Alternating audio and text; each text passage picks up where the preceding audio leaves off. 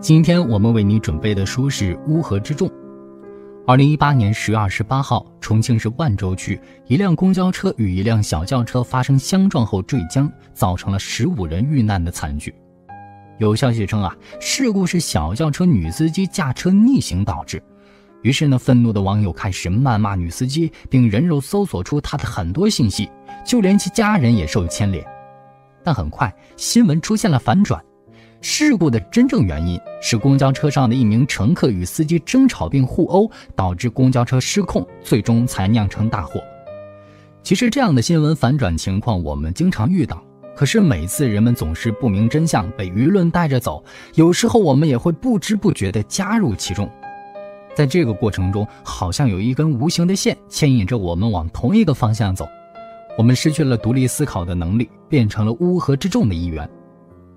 没有人想被人牵着鼻子走，你要如何才能避免这种情况，保持自己的独立思考能力呢？答案就在这本书中。本书作者古斯塔夫·勒庞本职工作呢是法国的一名医生，但是他兴趣广泛，利用业余时间研究人类学、自然科学以及社会心理学等不同领域，并在这个过程中写下了很多著作，其中就以《乌合之众》最为著名。这本书被认为是群体心理学领域的开创性作品，出版于1895年，被翻译成近二十种语言，至今在学术界仍有广泛影响。在书中，勒庞认为，人一旦身处群体中，就会丧失独立思考能力，做出很多不理智的行为。接下来，我将把这本书拆分为三个部分，为大家解读这本书的精华内容。首先，你会知道什么是群体。它有哪些心理特征？其次，你会学到群体心理是如何形成的；最后，你会了解领袖是如何操纵群体的。学完后，你将会有意识地思考自己的所作所为，不再人云亦云。下面就让我们开始学习吧。首先，我们来说什么是群体，它有哪些心理特征啊？很多人最直观的感受就是一群聚集在一起的人，比如啊。共同乘坐一辆地铁的上班人士，公园里活动的大爷大妈们，商场里购物的人群。不过，勒庞所定义的群体和我们一般的理解十分不同。像这种偶然聚集在一起的人群，并不能算作群体。只有当这群人拥有相同的心理状态，并且失去了个体的独立意识，才能构成一个群体。这话听着有点拗口啊，我们来举个例子，比如。在一个大商场里，每个购物的人关注点都不一样。有人想买衣服，有人想买零食，有人可能就只是看看。这群人并不是一个群体。但是，如果有人突然喊了一声“着火啦，快跑啊”，所有人都会因为求生的本能开始跑起来。这时候，大家就拥有了相同的心理状态，并且在这种情况下，每个人并不会去思考是不是真的着火了。也就是我们刚才说到的个体独立意识消失了，直白点说就是没有独立思考能力。这一群人也就构成了勒庞所说的群体。这里我们还要多提及一点啊，群体并不一定是同一时间出现在同一地点的人。什么意思呢？举个例子，如果网上有人发表对某个流量明星不好的言论。不管这个言论是否是真实的，这个明星的粉丝们都会自发联合起来去抨击发表评论的人，为他们的爱豆证明。这群疯狂追星的粉丝不用聚集在同一个地点，甚至互相都不认识，仍然可以发挥群体的力量。那么，当群体形成后，它会有哪些心理特征呢？勒庞在本书中为我们总结了三个心理特征。这第一个就是盲目自信。当只有一个人时，个体不敢做出什么出格的事情，即使他有想干坏事的念头，他也很容易放弃了。但是，当一个个这样的个体组成一个群体，对于群体中的每个人来说，不可能的概念就消失了。不但敢想，也敢做，极度盲目自信。最典型的例子就是中国式的过马路。原本一个人的时候是不敢违反交通规则的。但是当一群人聚集在一起，每个人的胆子突然就大了起来，直接漠视交通规则。为什么会出现这种情况呢？这是因为啊，身处群体中，每个人都会意识到人多势众的好处。只要人一多，个体就会感到一股势不可挡的力量，这让他敢于做出平时不敢做的事情，而不害怕承担责任。毕竟法律肯定不会追究那么多人的责任，就算要追究，还有那么多人一起承担后果，根本不用怕。也就是说啊，每个人的责任感在群体中被削弱了。所以你看，群体就是这么盲目自信。群体的第二个心理特征就是具有传染性。在群体中，每种感情和行动都具有传染性。前面咱们提到，在商场购物时，你看到一个人一边跑一边嘴里还喊着“着火了，着火了”，接着你又看到几个人也跟着往外跑。这时，你即使不知道发生了什么事，也会开始恐慌起来，马上跟着往外跑。不到五分钟，商场所有人都会跑光了。这种传染现象速度快，威力大。处在群体中的个人很容易因为被传染，从而失去个人独立思考能力，受群体思想所摆布。群体的第三个心理特征就是易于接受暗示，这是相互传染所导致的结果。勒庞认为，当个人长时间融入群体之中，就会变得很容易接受暗示。在这种情况下，个体失去了原有的判断力，犹如被催眠一般，对暗示者唯命是从。只要想想那些被成功学大师忽悠的人，我们就可以明白这一点了。如果你走在一个成功学演讲会场，你就会发现台上的成功学大师满怀热情地喊着口号，台下的人也热情高涨，跟着喊口号。即便原来还有些不太愿意喊口号的人，也会被这种情绪快速传染，最终也跟着喊起口号。一个长期置身于这样的群体中，就会很容易被成功学大师洗脑，变得很容易接受暗示。在暗示的作用下，他们很容易接受进入大脑的信息，并把大脑中联想到的景象当作事实。也就是说，群体会接受大师的各种暗示，只要听到他的演讲，买他出版的书籍，跟着他学习，一定可以获得成功。群体的这三个心理特征：盲目自信。具有传染现象，容易接受暗示，听起来都不是什么好的特点。所以勒庞得出一个结论：群体在智力上总是低于孤立的个人。他在书中的原话是这样说的：“群体累加在一起的只有愚蠢，而不是天生的智慧。”这话虽然听起来确实过于绝对，但是不可否认，我们生活中看到的很多现象确实真如勒庞所说。好了。以上就是第一部分的内容，我来为你总结一下：当一群人具有相同的心理状态，并且失去了个体独立意识，就构成了一个群体。群体具有三个典型的心理特征：盲目自信、情绪和行动极易传染、容易接受暗示。这些特征共同指出了一个事实，就是当个人加入群体时，智商会下降。那么，知道了群体的这些心理特征后，你可能会好奇，这些群体心理到底是如何形成的？勒庞认为啊，群体心理的形成受间接因素和直接因素影响。所谓的间接因素，是一些将思想和观念植入人们潜意识中的因素，最终可能形成群体意识；直接因素就是引爆群体情绪和行动的因素，可以简单理解为导火索。这里要强调一下。直接因素能够发挥作用，必须要先有间接因素的长期思想准备工作。什么意思呢？说的形象点，我们可以把间接因素比喻成日积月累的稻草，而直接因素就是那压垮骆驼的最后一根稻草。如果没有前面稻草的积累，最后那一根稻草根本不会起作用。那么都有哪些间接因素和直接因素在影响着群体心理呢？我们先来看看间接因素。主要有三个，包括传统教育和时间。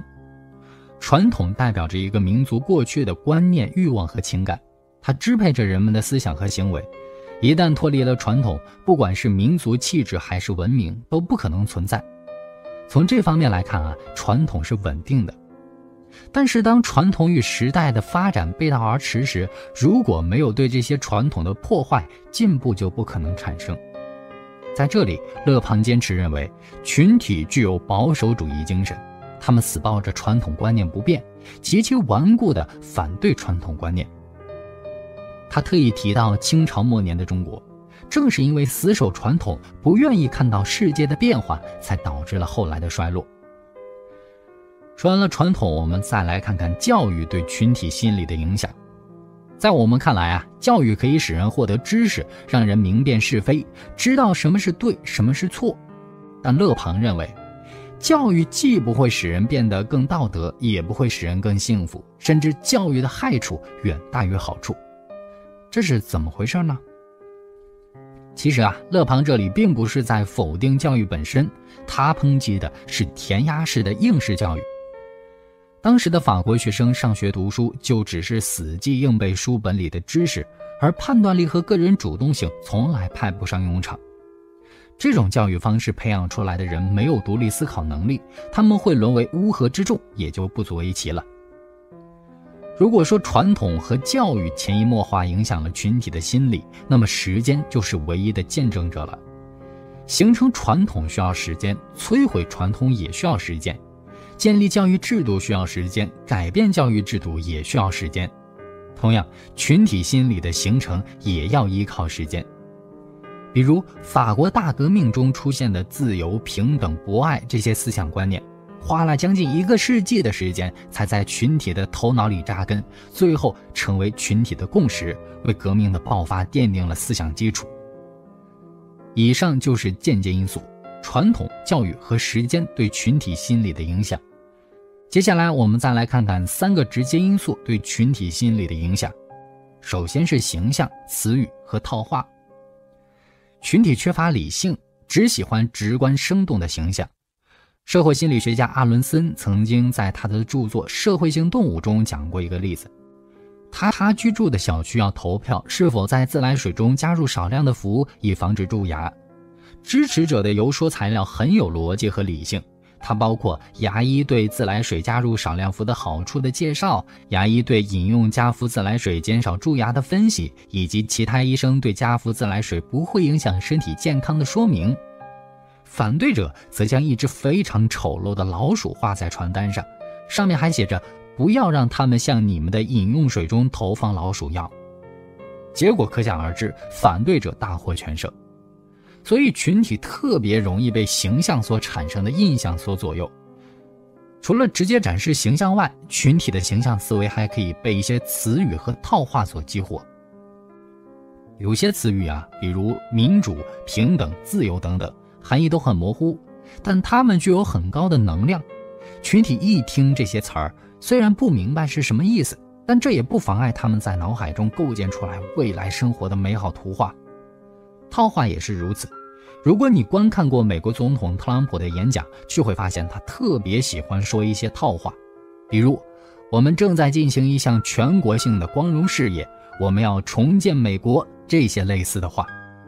仔细琢磨一下，这些套话其实很空洞，但在群体听起来，这些话就很高大上，激发了他们主人翁的意识，大家都会在脑海里描绘出一个更好的社会。不过呢，随着时代的变迁，有些词语的含义也会发生变化，他们所唤起的形象也随之发生了变化，有时候还会引起人们的反感。比如在明朝早期，“衣冠禽兽”这个词儿啊，是个褒义词。指的是当官的人能被人叫一声衣冠禽兽，那还是令人羡慕的。但在明朝中后期，由于文官武将欺压百姓无恶不作，老百姓非常厌恶这些当官的，衣冠禽兽这个词儿就开始出现了贬义，指代那些欺压百姓的官员。直到今天，我们一听到衣冠禽兽这个词，都会下意识反感起来。所以，政治家最重要的任务，就是在不伤害事物本身的同时，赶紧变换说法，用新名词把词语重新包装一下。说完了第一个因素，我们接下来来看幻觉是如何影响群体心理的。这里的幻觉啊，就是幻想。每个人都会有对未来生活的美好幻想，但对于群体来说，幻想会让他们无视现实，进而容易被人利用。比如网上总是有宣传可以快速瘦身的广告，有些还很夸张，向人们承诺一个月可以快速瘦十斤，不用节食也不用运动。有些想减肥但一直减不下去的人看到这样的广告就心动不已了，他们仿佛看到了一个月后已经瘦了十斤，穿上自己喜欢的裙子的画面。在这样对未来的美好幻想下，他们根本不会去思考广告的宣传文案是否科学可靠，里面的成功案例是否是捏造的，于是兴冲冲地购买了广告产品。如果说幻想让群体无视事实，那经验就是让他们幻想破灭的有效手段。还是拿刚才的减肥例子来说，如果这些人购买了减肥产品后，最终发现广告是骗人的，根本就无法一个月瘦身十斤，反而还胖了，那他们就会意识到，哎，这广告骗人，浪费我的钱。这样，他们下次再看到这个广告就不会再买了。这就是经验教训。不过勒庞说啊，经验要想在群体头脑中牢固生根，还需要长时间的积累。为什么这么说呢？你想一想啊，减肥人士这次上当受骗了，那下次看到另外一款减肥产品，他们是不是还会很心动，继续购买减肥产品呢？等到一次又一次上当受骗后，他们才会真正明白，想要快速瘦身根本就不切实际这样的经验教训。毕竟饭是一口口吃的，减肥也得一点一点慢慢减下来。好了，以上就是第二个部分的内容，我们来总结一下：群体心理的形成受间接因素和直接因素影响。间接因素是长期的思想准备工作，主要包括传统教育和时间三个因素；直接因素可以理解成导火索，主要包括三个因素，分别是形象、词语和套话、幻觉以及经验。通过前面的分析啊，我们已经知道了群体的心理特征以及群体心理是如何形成的。接下来，我们就来看领袖是如何操纵群体的。勒庞说，只要有一些生物聚集在一起，不管是人还是动物，都会本能的让自己处在一个头领的统治之下。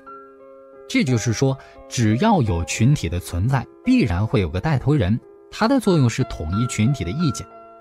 在勒庞看来，领袖可以分为两类，一类是一时具有坚强意志的人，他们在一些事件中起领导作用，相比群体中的其他人，这类人更加坚定和果断。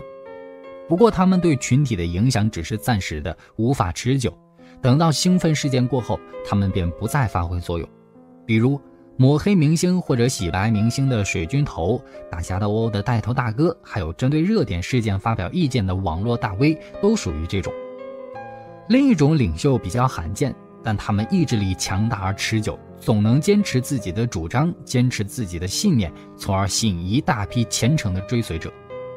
这类领袖的影响力非常巨大，即使他们死了，也仍然能够发挥影响力。比如商业领袖乔布斯，军事领袖拿破仑。那么这些领袖是如何动员群体的？勒庞总结了三种手段，分别是断言、重复和传染。所谓断言啊，就是不需要任何推理和论证，直接抛出一个判断，并且把所有不确定的词语，比如也许、可能，都通通去掉。这样的断言越是简单明了，证据越是缺乏，就越有威力。如果我们仔细观察一下，就会发现。政治口号或者广告词都是这样的断言式内容。举个例子，“怕上火喝王老吉”这句广告词简单干脆、朗朗上口，人们一下子就记住了。他们也不会去思考“怕上火”和喝王老吉之间有什么逻辑关系，是不是喝了王老吉就可以防止上火等等。要想让断言在群体的头脑里生根，领袖还需要不断重复断言，才能真正产生影响力。不断重复的说法会进入我们的潜意识中，潜移默化影响着我们。勒庞说，到了一定的时候，我们会忘记那个不断被重复的主张的作者，我们最终会对他深信不疑。你只需要想一下，每次去超市购物买的东西是哪个品牌的，就知道广告词这种断言式内容的魔力了。也就是说。如果我们家没有牙膏了，跑到超市去买牙膏，看着满是牙膏品牌的货架，我们肯定奔向最熟悉的品牌，而这个品牌我们之前已经无数次听过它的广告词。当断言得到了有效重复，强大的传染过程就此启动。我们前面说过，在群体中啊，每种感情和行动都极具传染性，所以成功的领导都是本身感染力特别强的人。比如那些成功学大师，在演讲时特别会煽动情绪，通过这种方式，他们将自身的观念和思想传递给部分人，这部分人就变成了他们的追随者。说的直白些，就是被洗了脑。而这部分被洗脑的人呢，也会通过情绪传染的方法，再把这个成功学大师的思想和观念传播出去，让更多的人加入他们的群体中。以上就是领袖如何操纵群体的全部内容了。总结一下，领袖有两种，一种是暂时性的。等兴奋事件过后就不再发挥作用。另外一种领袖是常识的，他们影响力极大。领袖通过把自己的断言不断重复，并利用自身强烈的情绪感染力，最终把自己的观念和思想一点点植入群体脑海中。好了，《乌合之众》这本书就为你解读到这里了。我想为你总结一下，我们今天一共讲了三个要点。首先，我们知道了群体是指具有相同心理状态并失去独立思考能力的一群人。群体具有三个典型的心理特征：盲目自信、情绪和行动极易传染、容易接受暗示。这些特征共同说明，个人加入群体后智商就会下降。接着，我们了解群体心理的形成原因，它受间接因素和直接因素影响。间接因素是长期的思想准备工作。主要包括传统教育和时间三个因素，直接因素可以理解成导火索，主要包括三个因素，分别是形象、词语和套话、幻觉以及经验。最后，我们认识了领袖操纵群体的三种方法，分别是断言、重复和传染。领袖通过把自己的断言不断重复，并利用自身强烈的情绪感染力，最终把自己的观念和思想一点点植入群体脑海中。这本《乌合之众》虽然不像其他书那样直接给我们一套方法论，告诉我们如何锻炼自己的独立思考能力，但勒庞对于群体的深入研究，对于我们普通人来说具有启示意义。在了解群体的心理特征、群体心理的形成原因以及群体是如何被操纵后，我们才会更加深刻地反思自己的所作所为，避免踩中群体的这些坑，沦为乌合之众的一员。好了。本书的学习就到这里。